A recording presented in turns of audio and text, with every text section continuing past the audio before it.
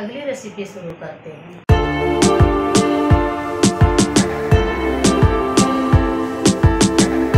बनाएँगे मुंबई के फ़ेमस बटाटा वड़ा। देखिए, बटाटे को उबाल लिए दो तीन सीटी और हरी मिर्च, अदरक, लहसुन ग्रीन मसाला। मिक्सर में पीस लेंगे दरबरा और आलू को छील करके हम रख लेंगे। देखिए इसी तरह से सब छील लेंगे सारे बटाटे को और मसल देंगे। छोटे छोटे बारीक कर देंगे और पैन में ऑयल डालेंगे। देखिए इसी तरह से गरम होने तक हम सरसों के दाने यानी सरसों और आधा चम्मच जीरा डालेंगे। और गरम हो रहा है तो हम थोड़ा सा मूंगफली के कुछ दाने डालेंगे और इसको तड़कने तक भूनेंगे। देखिए, अच्छे से फ्राई हो जाएगा। तो हमारा सिंगाना यानी मूंगफली टेस्ट लगेगा और सरसों भी कच्चा न रहे, नहीं तो कड़ू लगेगा। अच्छे से फ्राई करेंगे। देखिए अभी तड़क रहा है। थोड़ा सा वो तड़कने देंगे। अच्छे से। इसको हिलाते रहेंगे, नहीं तो थोड़ा तले में जलेगा और फिर बटाटा डालेंगे हम। और उसमें हल्दी इसको थोड़ा मिलाएँगे हम।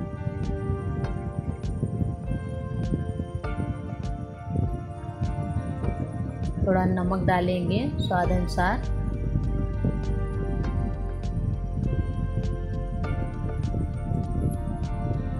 और अदरक, लहसुन, धनिया, हरी मिर्च सब जो पेस्ट है मिला दिए हैं और हल्दी भी डाल दिए थे। और थोड़ा सा गरम मसाला डाले थे तड़के में। और सब हम मिक्स कर रहे हैं। इसी तरह देखिए। सब कलर आ गया है। अभी ठंडा होने के बाद गोल गोल हम बना लेंगे ऐसे बॉल जैसे। सारे बॉल बन गए हैं। देखिए, और अभी एक कटोरी हम मैदा लेंगे, छान लेंगे बेसन लेंगे तो छान लेंगे।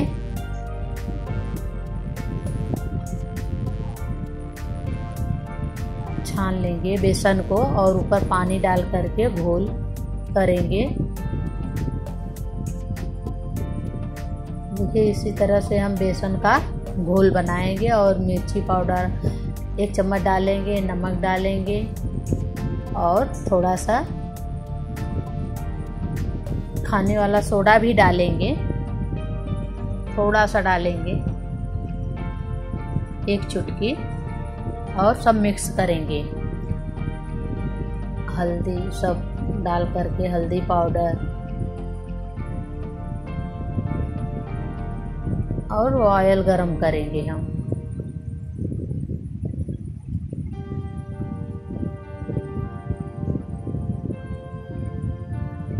और बॉल को डाल करके बेसन में हम इसी तरह छान, कढ़ाई में गरम हो गया तेल तो डालेंगे उसी में। और इसको हम थोड़ा पकने देंगे और चमचे के सहारे हिलाएँगे। और देखिए, तीन से चार मिनट लगता है पकने में, ज़्यादा टाइम नहीं लगता है। और इस छन्नी से लेके पैन से छान लेंगे हम इसी तरह। देखिए, अभी थोड़ा सा हिला करके फिर से पलट देंगे और छान लेंगे।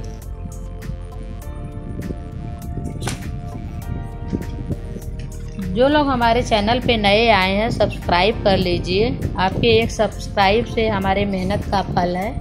और देखिए, हरी मिर्च हम इसको बेसन में लपेट करके तल लेंगे। इसी तरह हमारा सब बन गया है। हरी मिर्च है, देखिए। और इधर सिंगाने की चटनी है, वड़ा है। और इसी तरह से हम बना लिए हैं। हमारी वीडियो अच्छी लगे तो लाइक करिए सब्सक्राइब करिए। थैंक